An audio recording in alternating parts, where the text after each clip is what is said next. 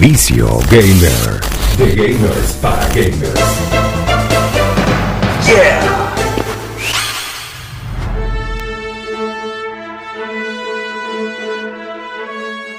Esto es 100.7 Digital FM. Estamos en Vicio Gamer conversando sobre videojuegos. Y bueno, vamos directo, vamos seguido hasta las 7 de la noche.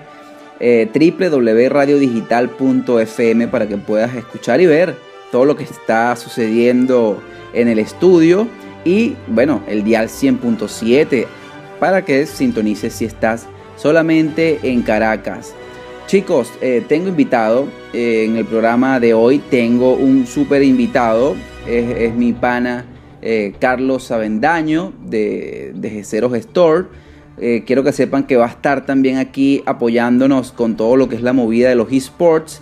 Nos lo han pedido bastante, me han pedido muchísimo esto y bueno, me, han, me han, comentado mucho, bueno, habla más un poco sobre los esports, toca más esos temas. Eh, conversa un poco con nosotros cómo está esta movida por acá.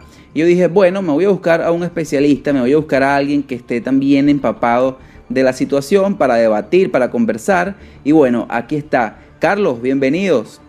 O bienvenido. Buenas. Buenas, buenas. ¿Cómo estás, Jetro? Aquí, perfecto. Muy contento de participar nuevamente en tu programa y bueno, de siempre aportar nuestro grano de arena en esta movida gamer. Estabas, perdido, Carlos. teníamos tiempo que no, no, no, no, no, no aparecías en el canal desde la Expo Game Fest, ¿no? Claro, así mismo fue esa gran experiencia de la Expo y bueno, nada, tomamos un, como dices, unas breves vacaciones que bueno, que no fueron muchas vacaciones, pero pero estamos de regreso. Y, y, moviéndonos en nuestra página web y todo ese trabajo. Claro, no, excelente. Bueno, Carlos, eh, luego de esa presentación, este bueno, vamos a, vamos a, vamos al, vamos al grano. Vamos a conversar sobre, sobre videojuegos, vamos a conversar sobre esports, sobre deportes electrónicos. Hay algo muy interesante de lo que me estuviste conversando, que te puede ver por YouTube algunas cosas también, y es la, Overwatch League, ¿no? Este, es un, proyecto un este, proyecto interesantísimo. Cuéntanos un poco qué es la Overwatch League. Bueno, mira, este, la Overwatch League todavía, todavía no ha nacido al 100%. O sea, fue anunciada en el 2016 como la liga más profesional que va a existir de eSports a nivel mundial y de todos los juegos. ¿Por qué? Bueno, porque a diferencia de otras ligas o este, se podría decir de otros métodos que se han utilizado para los eSports, va a haber un solo ente que rija esta liga o que rija la liga mundial, que va a ser la misma gente de Blizzard, la cual está armando, se podría decir algo así como una FIFA, pero de eSports de, de Overwatch. ¿Qué nos muestra? Bueno, ellos han buscado desde, desde todos los tipos y métodos para poder eh, mostrarnos una gran liga que involucre a todo el planeta, donde ellos van a buscar las ciudades exactas, este, van a hacer sorteos de jugadores, van a hacer muchas, muchas medidas para lograr conseguir que cada lugar o cada ciudad importante en el planeta, decirlo así, va a tener su equipo de Overwatch. Es decir, eh, ellos están buscando como selecciones, como clubes.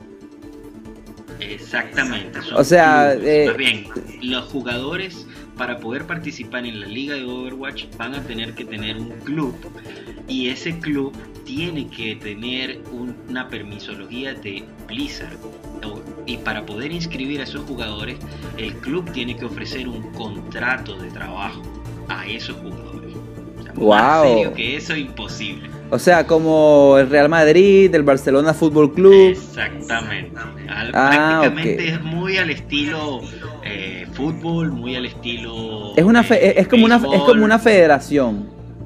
Eh, va a ser una federación en la cual va ella va, me imagino que dependiendo de la cantidad de equipos que inicien buscarán la manera de cómo distribuirlos, pero prácticamente se está, se está buscando que haya solo un club por ciudad grande.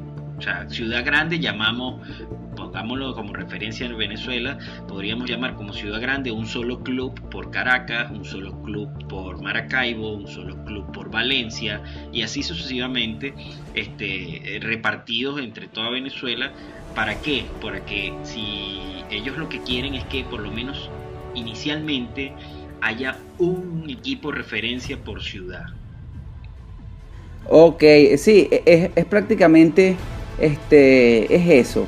Es que exista los mejores jugadores. Es como recolectar, recoger los mejores jugadores del mundo. Pero, ¿cómo es este proceso? ¿Cómo piensan recoger esto? ¿Por competencias, por torneos, como algo regional?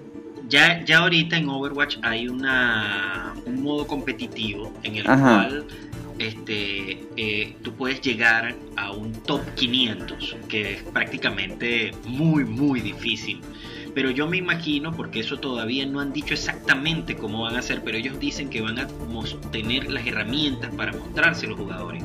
Ellos van a hacer como un draft, más o menos al estilo eh, básquet, eh, hacer un draft eh, con todos los, jugadores que participen en competitivas, tanto en las temporadas que existen ya actualmente en el juego, como este, me imagino que en torneos que ellos mismos llamen para que la gente se muestre. Entonces, estos jugadores van a mostrarse en esos drafts, en esos, en esas, eh, por decirlo así, torneos o mini torneos, para que los clubes que se que vayan surgiendo, que vayan obteniendo su permisología dentro de la competencia, puedan fichar a estos jugadores y llamarlos a sus filas. Y por decirlo, me imagino que este eh, dependiendo también de su zona geográfica aparecerán distintos tipos de, clubes y, jugadores, pero eh, te obliga eh, la liga a que el jugador tenga un contrato profesional con remuneración y beneficio económico. O sea, estamos hablando de que no es eh, algo... Esto no es, esto, no es un, esto no es un juego. Sí, no es un juego. O sea, en realidad ellos lo van a lanzar como una liga profesional este, completamente. Pues, no es que ganaste por el premio o pagas por inscribirte. No, no, esto es algo donde hay un jefe, dueño de un club, el club contrata jugadores y con el club tiene que, me imagino que para poder subsistir y poder ofrecerle a los jugadores, tiene que conseguir patrocinantes, tiene que conseguir este todo ese tipo de trabajo como si fuera un club normal de cualquier disciplina este, de las que ya conocemos de deporte. No, eso está genial, Carlos. Bueno, estoy conversando con Carlos Avendaño, que es nuestro experto en los, en los esports. Eh, vamos con un poco de música, Carlos.